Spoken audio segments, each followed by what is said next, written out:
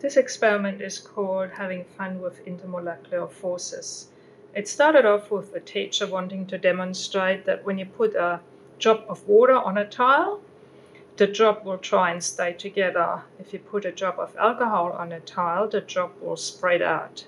Now it's pretty hard to see clear liquids on a white tile, so I decided to color the liquids. I've colored my water blue, just with food color, and I've chosen to use isopropanol because that seems to work better than um, ethanol. And I colored it with bromoformyl blue because food color doesn't dissolve too well in alcohol. The tile is squeaky clean. It's best to clean it just before you use it with detergent and then dry it. So after I colored my liquids, I started by putting some drops of water on there and it's expected they stay together. They like staying together. Then I've got my alcohol, colored red, and I put that on the towel. And see what happens before I even put it on the tile. The water gets pushed across the tile. At first I thought maybe there was a breeze going through or the fan or the aircon did something.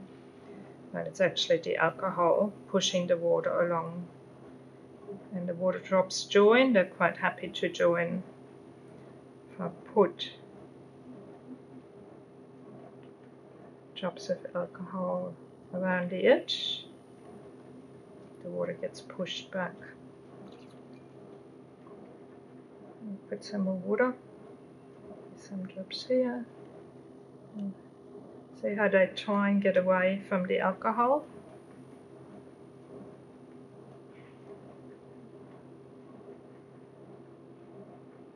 Just trying to push it back. Trying to push this one back.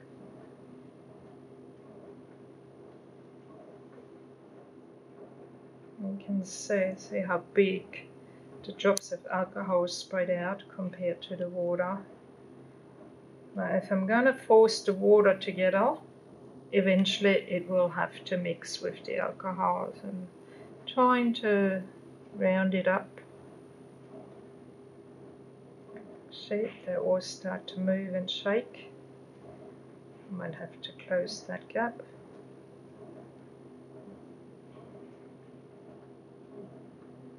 You can already see there is some mixing happening now where it goes green.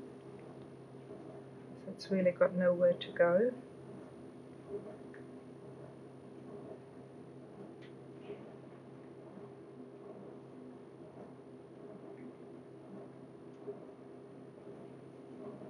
It's pushing in the last corner. The water is filling all the space that's left, but more and more of the alcohol and the bromoformyl blue move in and get that green color. Let's see if I try and make this a little bit larger.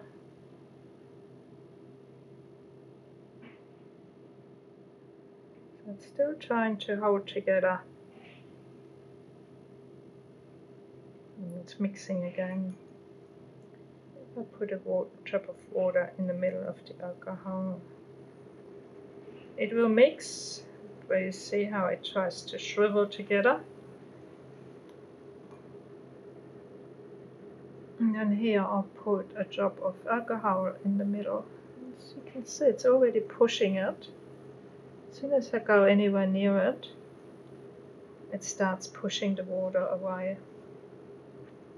Let's see what happens if I surround this one with more alcohol. See if I can force it to mix. You can see it's quite a nice artwork. It's really good fun. It tends to quiver and shake. Sometimes it does it really, really cool. You think it's stopped and then it starts moving again. There's a nice bit of mixing. This one's still going. It looks like nothing's happening, but obviously there still is. Because it still keeps shaking around. Put one there.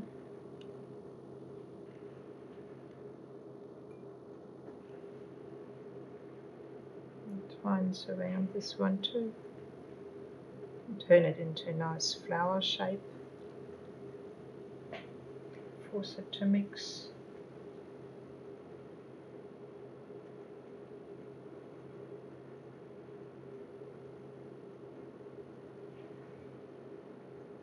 It's still going and it's still shaking. It's getting darker now. There's still something going on because I can still see it move.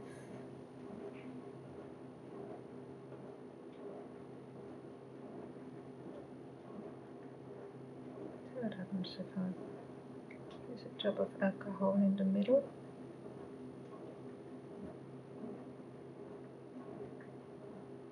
get some beautiful patterns.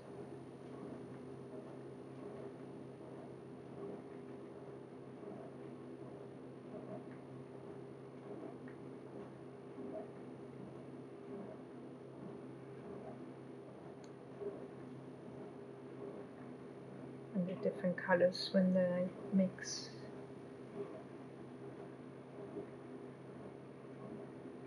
Trying to sneak across now. If you leave it to dry in the end, you do get some really nice pictures.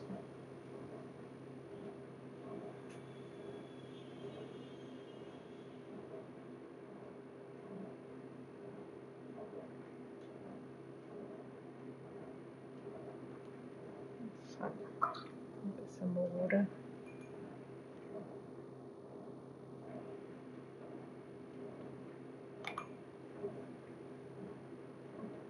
see the mixing and pushing.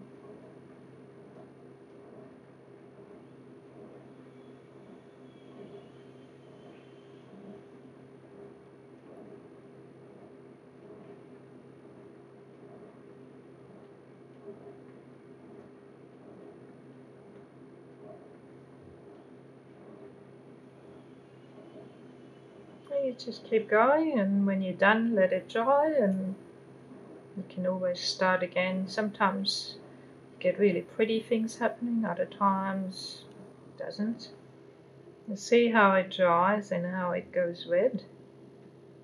And then it comes back again and goes lighter.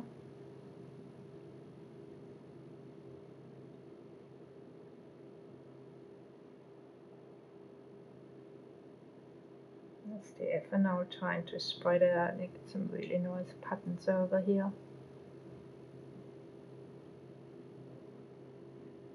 just stand back and watch it for a while.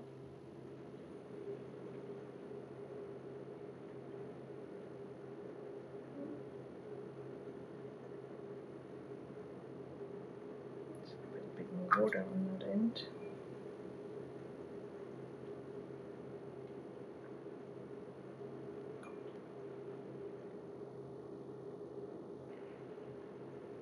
Maybe a little bit more alcohol.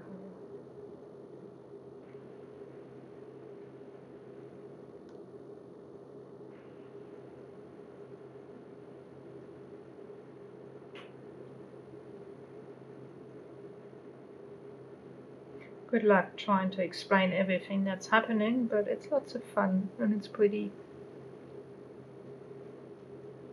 It's still quivering.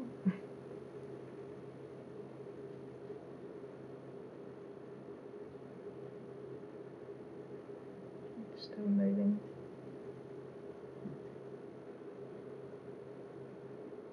And there's still things happening over that end.